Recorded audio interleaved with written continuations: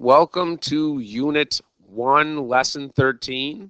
This is part 1 of the video. And for today's lesson, we are going to start to do systems of linear and quadratic equations. And we're going to also briefly touch on quadratic inequalities toward the end, if there's time. If not, there will be a part 2. So, let's get started. Let's just jump right in. Okay? Um, example 1 Solve the following system by graphing. Oh, these are so much nicer when we get to do this by graphing. Um, I am going to start by graphing this line in green because graphing lines are always the easiest thing to do. Okay? I know that the 1 represents my y-intercept, so I'm going to put a big dot where y is 1. And I know my slope is 2, so I go up 2 over 1. Up 2 over 1, up 2 over 1. And I'm going to continue that same pattern down to the left. Okay, down to left 1. Okay, I'm going in the opposite direction, so I go in the opposite. And I just draw a line right through these. Put arrowheads because it goes forever, and because I'm in this habit, I will label this. y equals 2x plus 1. If you do not have two different colored pens or pencils, I would label yours as well. You should get in that habit. It's a good habit to be in. Now, this second one in blue, they want us to solve this system graphically. So what I'm going to do here is I'm going to go to my calculator and I'm going to put this equation into y1 and I'm going to look at my table so that I get a table of points. All right, so I'm going to move this thing over, turn this bad boy on, go to y equals, and I'm going to put x squared, okay, minus 2x plus 1. That looks the same. So I'm going to look at my table, and I am going to bring this part right here. Now these are a table of points. So I have, and I'm going to go top down, negative 2, 9. So I go 1, 2, 3, 4, 5, 6, 7, 8. Wow, 9 would be right here. That's negative 2, 9. Then we're going to go to negative 1, 4. Right here. Then I'm going to go to 0, 1. Eureka, we have one of the lines. Perfect. One of the uh, matching coordinates, I should say. Now I have 1, 0. And then everything else, we have 2, 1. I'm starting to see a reflection here. So 3, 4, and 4, 9. It looks like we have our second point of intersection. So if I draw this parabola, you know, it curves. There you go. And my two coordinates where they intersect, those are the solutions. Okay, that's at 0 on the x, 1 on the y. And right here, which happens to be 4 on the x, 9 on the y. Now that was done by graphing, and they gave us the grid to graph this. All right? But you know we can do this in the calculator and have our calculator give us the answers. So right now, we currently have my parabola in y1. I'm going to move to y2 and I'm going to put the equation of my line, 2x plus 1. And if I graph both of those, uh, there's a parabola, mm, there's the line. Okay, well, it looks like, I mean, I can kind of see where they intersect, um, kind of up here, right? But I want to see a little bit higher just so that's a little bit more clear to me. So if I go to my window, and you don't have to do this, I'm just finicky. And I'm going to make my y go up to 15. I want to see if I can see that intersection a little bit better. There you go. Crosses once, crosses twice. There you go. See, to me, that's a lot more clear. You didn't have to do that, but, but I just like to have things nice. So how can I find out the points of intersection?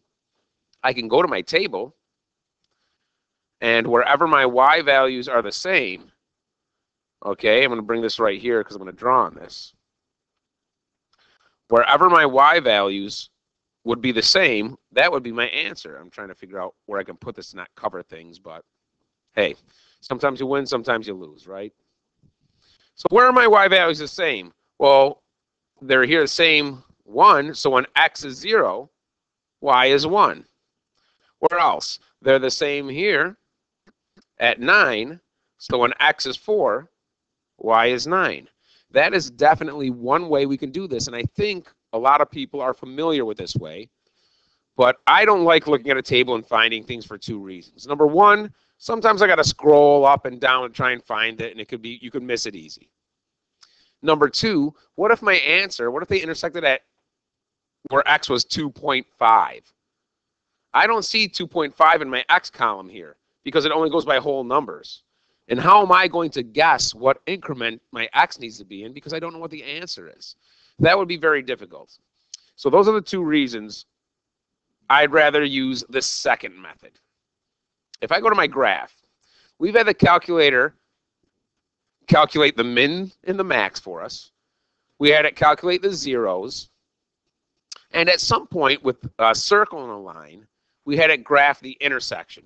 I'm going to do the same thing here. I'm going to calculate the intersection to my points here and here. All right, so I'm going to hit second, trace, because that's my calc menu. And I want to calculate, you see number five is the intersect. So I hit enter, and you see my little bug dude here. He's moving down there. He's now around the vertex. All you need to do is put him as close to the intersection point as possible. It doesn't need to be right on it but you have two intersection points. So you want the calculator to calculate one of them, and it will calculate whichever one you are closer to. Meaning, if I want to calculate this intersection point right here, I would have to move the bug closer to this point than this point. For my sake, I'm going to calculate this one first. We should come up with 0, 1. So I'm going to make sure my bug is closer to that, which he is. And I'm just going to hit enter three times. One, two, three. Oh, look at us. Gotta love the calculator. I'm going to put that right here. And then I'm going to do it the second time. And I've got to do the same process all over. Second, calculate. I want to go to 5, which is the intersection. And now my little bug dude has got to be closer. Bam. One, two, three.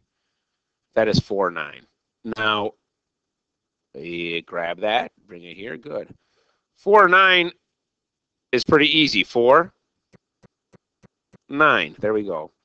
This one, for some reason, throws everybody off. I'm gonna bring that to the front. So when I, all right, we have one for y, but look for x. That is scientific notation, and sometimes the calculator does funky things. That's negative 7.9 times 10 to the negative 17. So I would have to move my decimal 17 places to the left. 1, 2, 3, 4, 5, 6, 7, 8, 9, 10, 11, 12, 13, 14, 15, 16, 17. My God.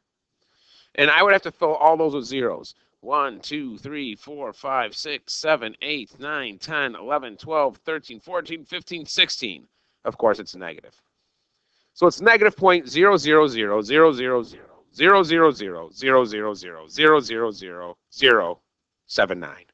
That is so tremendously close to zero, it's sickening. I don't know why the calculator does that sometimes. Well, I mean, I do, but it's not worth going into. It calculates things slightly different at times. But that is essentially the point zero one. This sometimes throws people off. But you got to realize if I have a decimal with all these zeros in front of it, that is essentially like let's say rounded that to the thousands. Isn't that three places? Point zero zero zero. That's still zero. So you're pooped on if you do, you're pooped on if you don't. That's why it's nice to know how to do these things algebraically. Let's go on to the next one. Okay. Example two. Solve the following system algebraically they give us x, negative x squared plus 2x plus 10, y minus x equals 4. All right. I'm going to do this by substitution. Okay. The first thing that needs to happen is I'm going to add x to both sides. So I've got y equals 4 plus x. All right? And now I have two equations that are in the form of y equals. I have this, and I have this. Okay? And what I'm going to do is I'm going to set them equal to each other.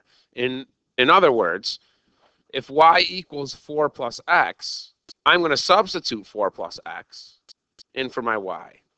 So I have 4 plus x equals negative x squared plus 2x plus 10. That says quadratic written all over it. I'm going to get everything to one side and solve for x. Okay, so let's, uh, I'm going to bring everything from the right side over to the left because I like to have a positive x squared. That is so much easier when it comes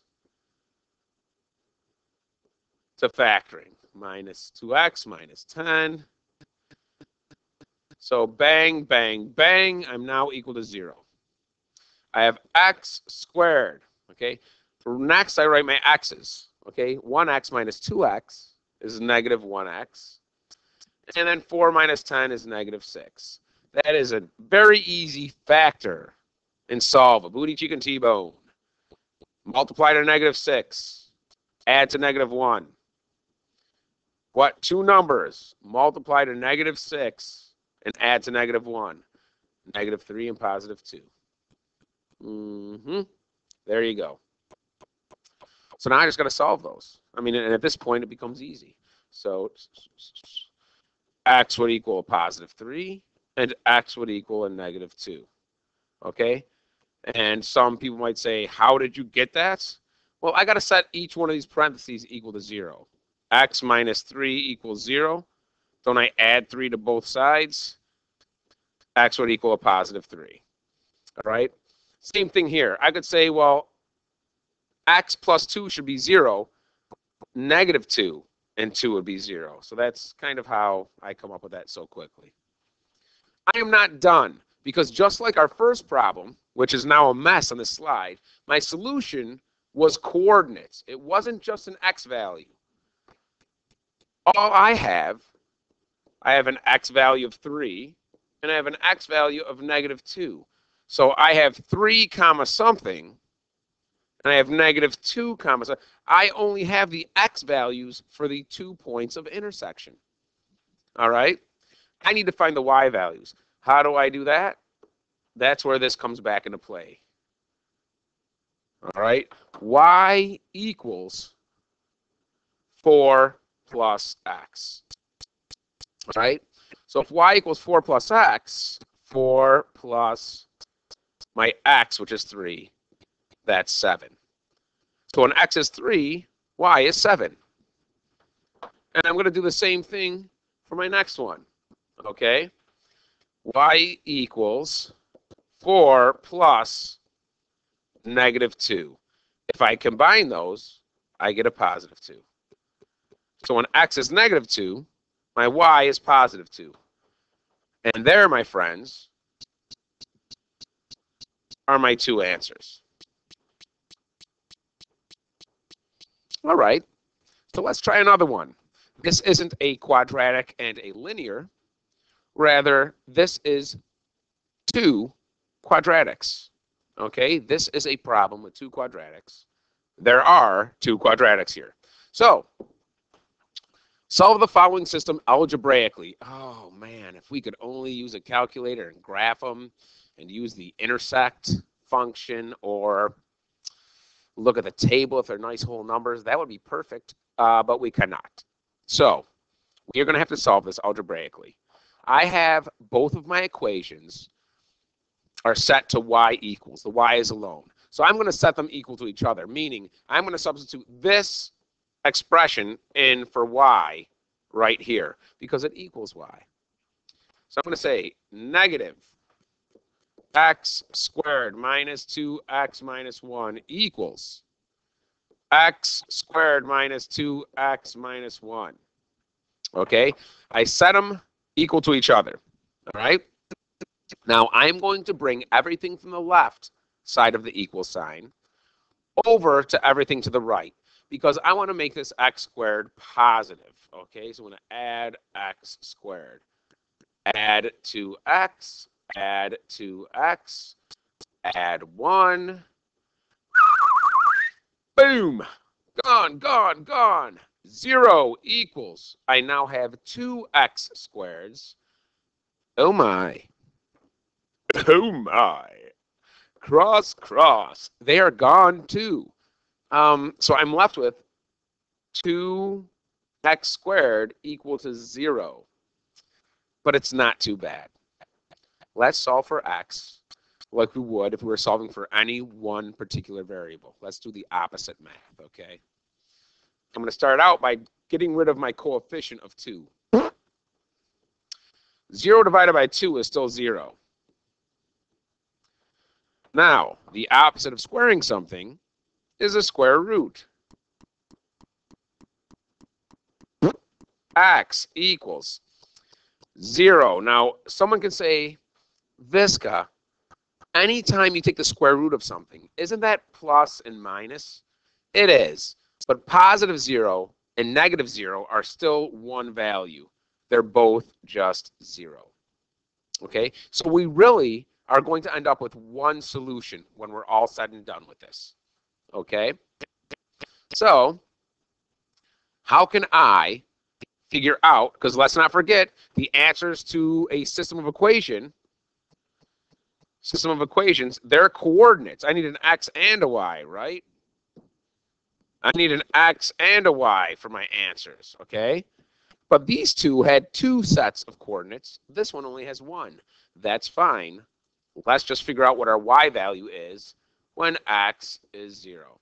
I can use either equation, okay? I can use this equation, or I can use this equation. Let's use the top one I highlighted in yellow, because, I don't know, the x squared is positive. You could use the bottom equation, and you should still get the same answer I get. It doesn't matter if I pick the top equation or the bottom equation. When I put 0 in for x, you should get the same y value. Okay? I'm going to use the top one. I have x squared, and my x is 0, right? So it's x squared, where x is 0, minus 2 times x, which is 0, minus 1. Okay, 0 minus 0 minus 1. That's negative 1. So when x is 0, y is negative 1. How come, mister, we only got one answer? Because if I graph this system on a set of axes, if I graph these two parabolas on a set of axes, here's the point 0, negative 1 right here. Notice that this is a positive parabola. This will open upward. This is a negative parabola. This will open downward. They will touch once at 0, negative 1. There you go. Brilliant dude right here. I'm not that brilliant. Actually, I am. But doing this math isn't that complicated. If you had a calculator like I do, you could graph them both and you would see the same thing. Number four, how many unique solutions are there to the following system of equations? Notice this is not asking me what the solutions are. They're asking me how many solutions do I have. Notice they're not telling me to prove this algebraically. They're just asking me how many unique solutions I have. So I can do this on the calculator if I so wish. All right? So that's how I'm going to do it. In order to graph things in the calculator, I need them y equals. And this is already y equals. The problem is this one is not. So I've got to get that in y equals form. I've got to isolate my y. The first thing I'm going to do is subtract my x. So I've got 3y equals 12 minus x. Now I divide by 3. Y equals 4 minus x over 3. Or if you wanted to, this is correct. Or you could write that as y equals 4 minus 1 third x. Those are both the same thing. Okay? But mister, what if I wrote one, negative 1 third x first, then I wrote my positive 4? I would say congratulations, you came up with the same thing I did because that's also the same. Okay, some people like to see that x first, and that's fine. Okay, that's fine. So this is technically the same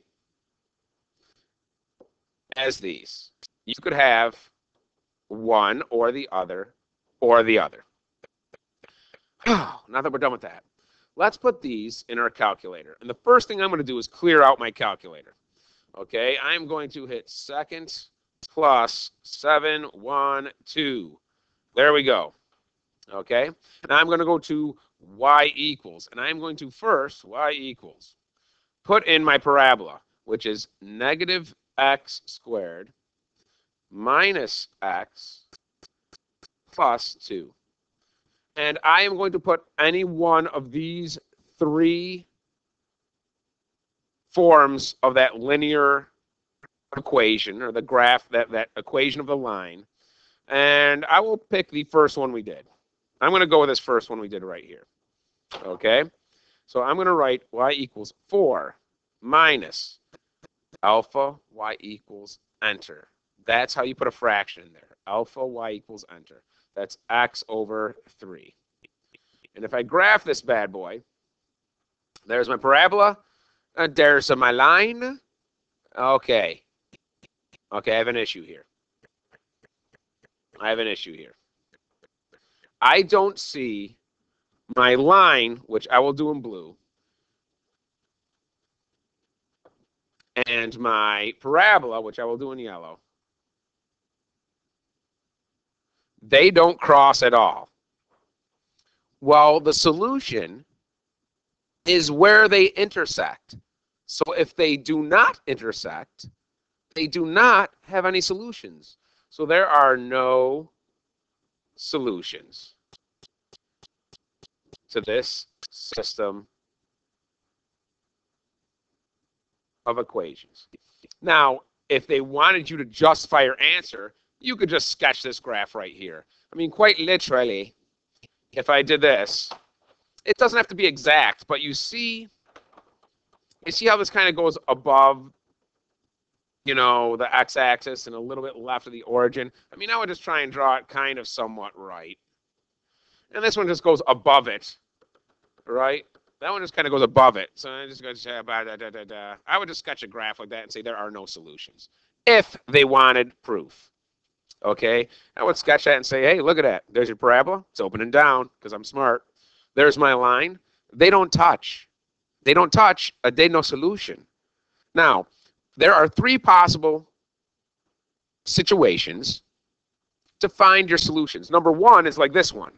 You have none. Okay? Maybe they cross or they touch once, where you only have one solution. Okay? I also could have a parabola like this, and I could have a line come through and still touch it once. I can have a line and a parabola touch once. Or, just like our first problem, sometimes they touch twice, where the line actually cuts right through the parabola. So we can have two solutions. We can have one solution. And sometimes we can have no solutions. And that's fine because we know what the answers are. Quadratic inequalities. Ah. What is the difference between a quadratic equation and a quadratic inequality? Well, first off, I hope you know an equation has an equal sign. A quadratic inequality either has a less than or equal to sign, or it can have less than or equal to, greater than or equal to. But depending on what sign you have here, what inequality sign is really going to you know, kind of dictate the graph you draw as well. Meaning, if I have either one of these two, where the straight line is underneath, okay, it can be less than or equal to or greater than or equal to. If you have these straight lines underneath, then your graph is a straight line.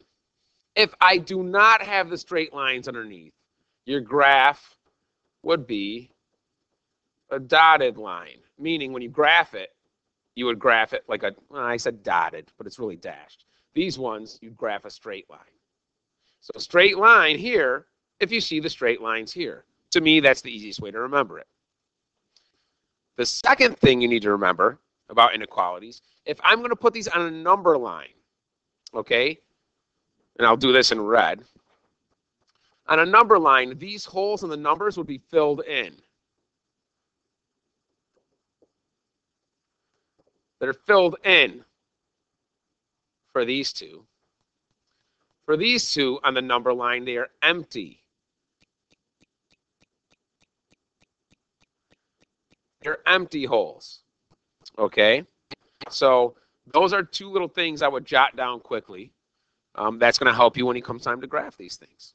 So,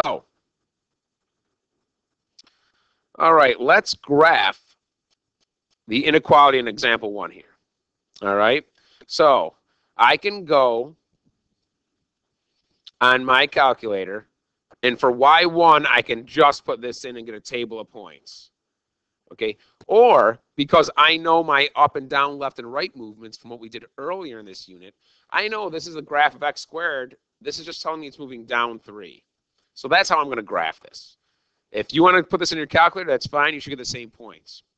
So instead of being at the origin, my vertex is going to be down 3. Then I go here. Okay. Then when it's 2, it's for it should be here. Okay. And if you aren't sure uh, where these points should be, let's say when x is 3. Well, all I got to do is really throw a 3 into x. 3 squared is 9. Minus 3 would be 6. So I go 3, 1, 2, 3, 4, 5, 6. And then this is the reflection over here. So I have this parabola. It looks like this, okay? How come I'm drawing a straight line instead of a dashed line? I'm drawing a straight line to represent my graph because the straight line is underneath my inequality. It's greater than or equal to. It is not just greater than. If the straight line is here, then your graph needs to be a straight line, not a dotted line. Okay? To me, that makes a lot of sense. That's the first thing I would tell you. The second thing is, when it comes to inequalities, we need to shade an area. I am either going to shade, okay, this is not the answer yet. I'm just going to tell you. I'm either going to shade inside my parabola, uh -huh, or I'm going to shade everything outside my parabola. Okay, I am not going to do both. It's either going to be the yellow highlight or the blue highlight. But how do I know which one I shade? Some people have many different methods. This is my method. I pick a point that is not on my parabola. Like I can't pick this point here because that's actually a point in the parabola. What I always do is I pick something that's not on the parabola, and if the origin is available that's not on the parabola, I pick the origin. How come I pick the origin? Because that's the coordinate 0, 0. My x is 0, and my y is 0. So what I do is this. I plug these two values in for my x and y. My y is 0, and my x is 0. And I simplify that. Of course, 0 squared is still 0. So 0 is greater than or equal to 0 minus 3 is negative 3. Is that true? Yes, that works. So do I shade my origin? Yeah, I'll be okay. Do I shade my origin area? Because that's where my point was, right? It's the same response. Yes. Okay. So since this point worked, this point should be in the shaded area because my shaded area represents all the points that work. So you guys have pens and pencils, not highlighters. What you can do is just simply any coordinate in that shaded area would work on this inequality. And I think we've already answered this last, I guess, request. State a point in the solution set. Well, I mean, 0, 0 worked in there. So I can do that. So let's do this. Uh, let's pick another point. We know 0, 0 works. What about 1, 2? That's a point one, two. Is that in the solution set? It sure is. What about negative 2? 1, 2, 3, 4. Negative 2, 4. Is that in the solution set? It sure is. You could have put any point as long as it is in the red shaded area. Whoo! It's math when it works. I, I don't know anybody who doesn't enjoy being smart. I don't know. Maybe my ex-wife. I'm kidding. I don't have an ex-wife. Not yet, anyways. But I'm still married. I do not have an ex, so I'm not insulting anybody. That's a joke. Example two, find the solution set for the quadratic inequality x squared plus 2x minus 3 is less than 0. Okay, and then it says, note the difference between example 2 and example 1. Right now, example 1 has an equal sign here. Example 2 does not. All right? So let's look at 1, and let's solve this algebraically. Well, we've been doing this for a while now. Two numbers that multiply to negative 3 that add to positive 2. x plus 3, x minus 1 equals 0. Booty cheek, T-bone. x would equal negative 3, and x would equal positive 1. Those are my two solutions to my quadratic equation. Notice example 2 is the same thing. What I am going to do Okay, his first note that the only difference is we now have an inequality sign. I am going to begin to solve this just as if this were an equal sign. Right? Um, because we are going to have to solve this inequality, but we're going to have to show that in a number line.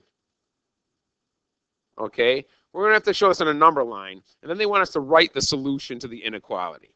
Okay? But I can't start on a number line unless I have a couple numbers to point out. And that's where these come into play. Okay, I'm going to solve this. We just did this in step one. Okay, it's x minus 3.